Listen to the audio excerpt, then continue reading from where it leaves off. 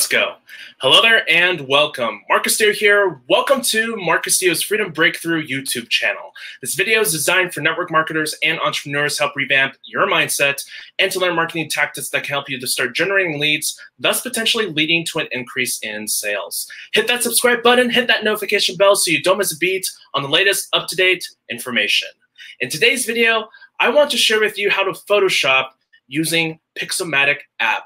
If you take the time to listen with intent and understand what I'm about to share with you, you'll be able to Photoshop within a matter of minutes and not have to spend countless hours figuring out how to use a Photoshop software. So you're probably wondering, what have I been using to create those Photoshop images of myself in my thumbnails?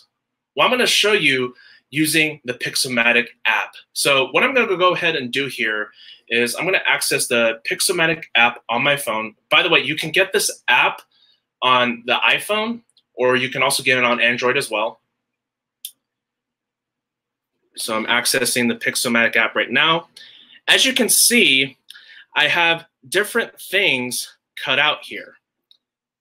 And if I scroll all the way at the bottom, you can see some of my cutout images I've done for my YouTube thumbnails. So you might be sitting here and wondering, how do I actually do that? I'm going to show you right now. So what you're going to do here, you open up the Pixomatic app. You see where it says Photos? You're going to click there. And then you're just going to select the photo of your choosing. So for this example, let's say I want to use this image. So you select your image, and then what you're going to do from here is see where it says on the very bottom you have all these different options. Select cut, which is right here at the bottom of the screen. So select that. And it's going to give you the option to enlarge your brush. You can either make it really big or you can make it really small. However way you want to do it, you can adjust the sizing of the brush.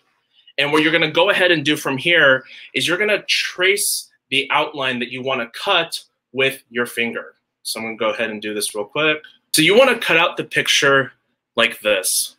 Now, don't worry if you don't get it exactly, because you're going to be able to you know, put some finishes to it.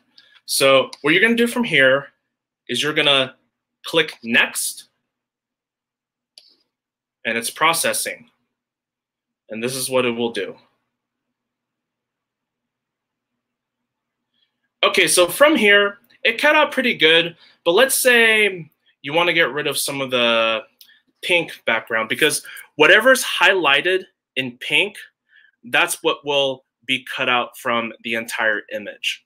So as you can see, there's still some pink, excess pink coming off the image. So you can actually go ahead and clean that up and you have some options here. You can either erase or fill. So in this case, we're gonna erase some of this pink right over here. Okay, so I cleaned up the image, but as you can see, I don't know how well you can see it on the camera, but as you can see, there's still some excess pink showing from the background. So what you can actually do from here is you can actually erase. Well, here's the beautiful part about this. Let's say you don't you want to zoom in on the image. All you have to do is use your fingers to go like this on your screen to enlarge it like that. And what you can do from here is you can adjust the sizing of your brush. Let's say I want to make it smaller so that I can trim out the excess pink. Okay, so as you can see, I just went ahead and removed some of the excess pink that was showing from the background. But let's say I want to fill in this piece right here from the image because it would be a little weird to cut part of myself off. So what you can do is you can select fill. So make sure you select fill. And you can, again, adjust the sizing of your brush. And you can go ahead and fill in the areas that you want. And then what you're gonna do from here, once you've cut the image out from the image itself and you like it the way it is, so what you're gonna do from here, you're gonna click apply. It's processing.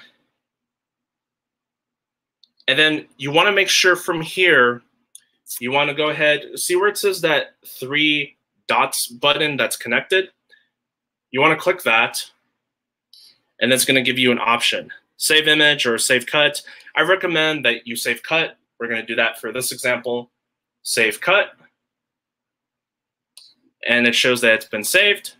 So what you're gonna do from here to view your cut, exit out, reset. It's gonna ask you to reset session. Click reset. Then from here, what you're gonna do is you're gonna go over to cuts. And you're gonna scroll all the way bottom at the bottom to find your cutout image. And there you go. Now you just learned how to Photoshop using Pixomatic. Now, this is a lifesaver because honestly, who's got time to learn how to actually Photoshop images using a Photoshop software when you could be literally using this app and look how clean that looks. That looks very good. You can actually add backgrounds to your cutout images and you can place your cutout image in front of the background so that you can have thumbnails that look like what I've done on my YouTube channel. And it's really fun to use this app because you can also do all cool sorts of things with this app. So there you have it. I trust you got value out of this video and now you know how to Photoshop within a matter of minutes using Pixomatic so that you can add your photoshopped images to your YouTube thumbnails. If you enjoyed this video, click on the link below. It'll drive you to a page. Put your name and email in there to get the free information on how you can start the journey just like I have. Make sure to like, comment, and subscribe so you can get all the latest videos that I will be doing coming your way very soon. With all that said, my name is Mark Castillo. See you on the next video real soon. Take care and see you around.